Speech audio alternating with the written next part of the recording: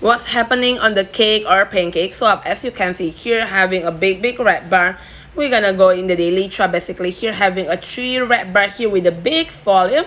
Try to push it but cannot be break below the sorry above the moving average 7 to 2.718 US dollar. With a stochastic natural position in the 4 hour chart like here as you can see it's slightly on the yellow one and the pink one around 2.7 right? So a crucial number on that point break again below 2.5 have to warning for you. Thank you everyone for watching this video. Don't forget to like comment and subscribe.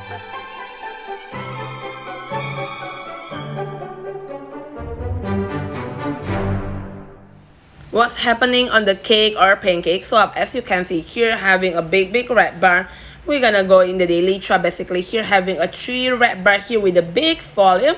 Try to push it but cannot be break below the sorry above the moving average 7 2.718 US dollar.